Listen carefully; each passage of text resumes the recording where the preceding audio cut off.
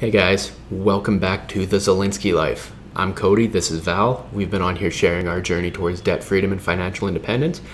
And today we want to talk about the emergency fund. How much do you need?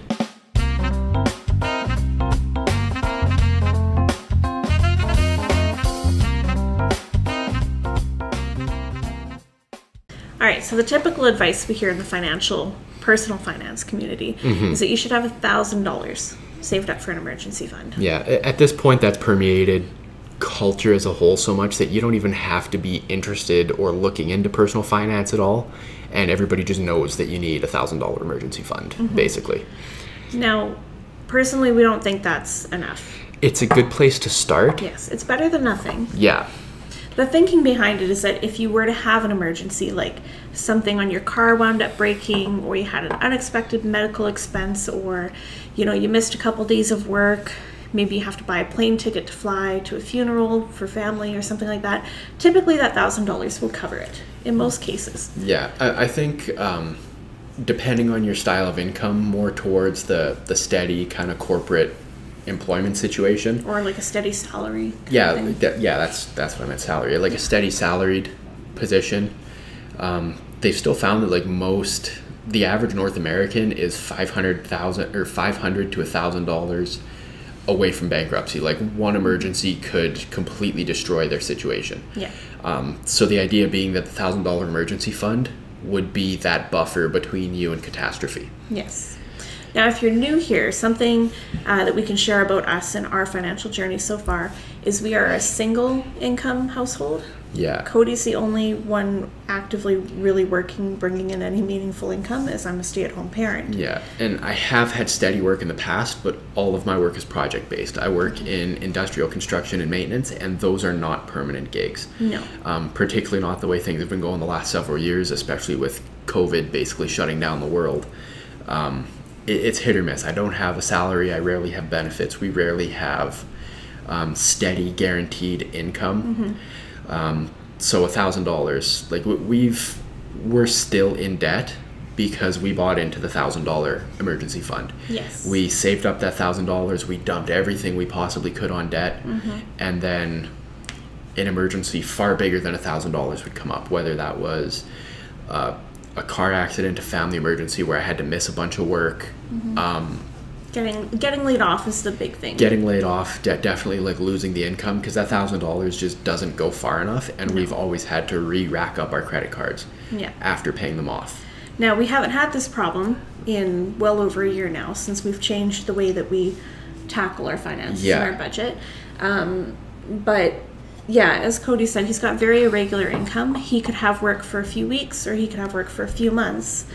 But those jobs always end, and then he's off work for a few weeks to a few months. Yeah, and depending on the job I take and what's available and how hard up we are at the time, I've had uh, just not too long ago. We I, I went and did a shutdown for two months. Where after that two months, we were sitting on almost fifteen thousand dollars, and then I've had another job where after two weeks we were sitting on fifteen hundred, Yeah. Um, which you know paid the bills and kept the wolves away, but we sure weren't getting ahead. Yes. So why do we tell you this?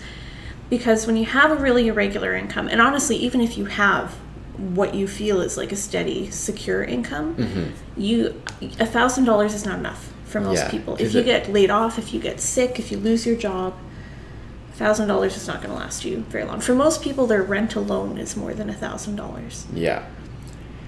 Yeah, so the, the typical advice around the, the thousand dollar emergency fund is go hard, do everything you have to do, build up that thousand dollars immediately, and then no longer save money after that. Um, if you have to pull out of that thousand dollars, replenish it, but maintain that thousand dollars and use all extra income towards paying off debt.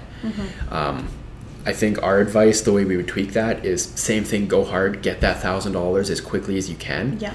and then after that, split up your income. Continue building on top of that thousand dollars a little bit every month, Yeah. but also pay towards debt. Yes, we use a pay yourself pay yourself first method. So we started with just ten percent of our income, um, but you know whatever percentage you can, and put that away consistently, religiously, Yeah. before you do anything else into a savings account. Honestly, if your situation is so tight that you can only find 25 cents to put into savings, Do it. it's better than nothing. Yeah. At the very least, it builds the habit and gets you into the mindset of doing it so that it's less of a turnaround um, mindset wise when you do have more money. And worst case scenario, maybe you're super steady with that for like 10 years and you know, a quarter a month for 10 years is still better than nothing. Yeah. So, how do you decide how much should be in that emergency fund? So, again, this goes back to the basic step in every video is have a budget. If you don't have a budget, please make a budget. You need to have a budget. If you need help with a budget, reach out to us. We can help you with that. We we're happy to bounce ideas off you, answer questions, Yeah. um, anything because you need a budget and we're, we're here to help. Yeah, we're actually working right now on putting together a financial basics course for people that'll walk you through, you know, not just how to start a budget, but a lot of the basics around creating a debt payoff plan, how to start saving, how to change your money mindset. Um, it'll include templates for for budgeting and as well as saving challenges Yeah. and a bunch of other stuff. Yeah, basic budget templates, um, expense tracking templates, savings challenge templates.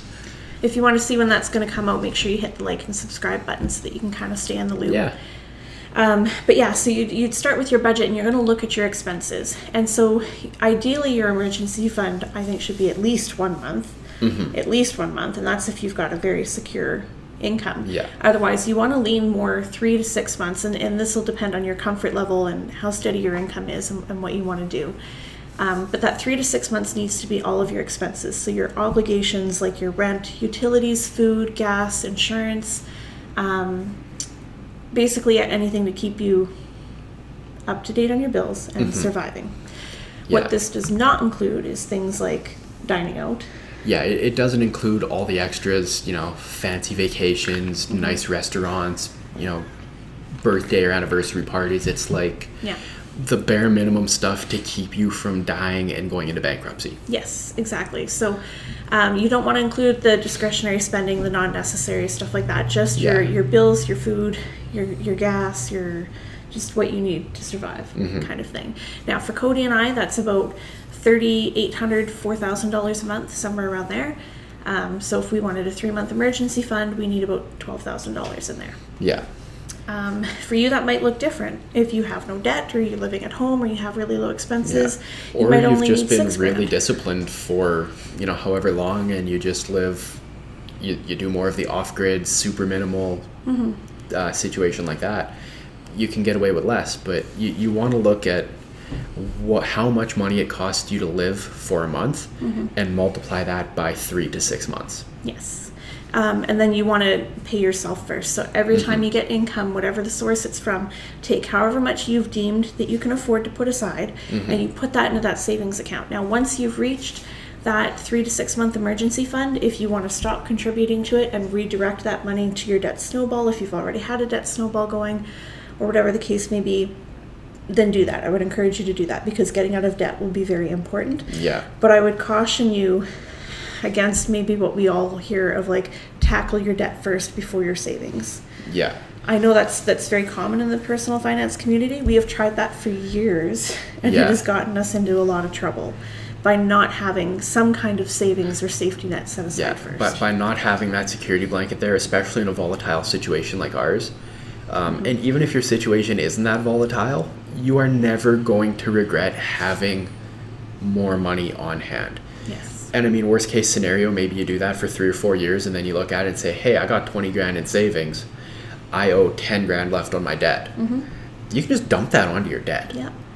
and then make it up really quickly by no longer having debt payments. But you will never ever regret having more money on hand. Worst case scenario, if you do get to a point where you're like, wow, I have way more than I need, well, it's there for you to pay off debt with, invest with, whatever. Mm-hmm. So that's about it. That's what we wanted to cover. Yeah, that's it for video. this one. Short and sweet. Anything else, baby? Nothing else from me. No, that's it. So, if you uh, found any value or any uh, anything helpful in this video, let us know in the comments. Um, make sure you hit that like button. Um, so yeah, if you like it, like it. If you don't like it, dislike it twice. Um, subscribe for more helpful information like this. Turn on notifications if you don't have them. Make sure you ring that little bell. If you have an actual little bell, ring that. And in the meantime, that's it for us. We'll catch you guys on the next one. We love you very much. And is it payday yet? Bye. Bye.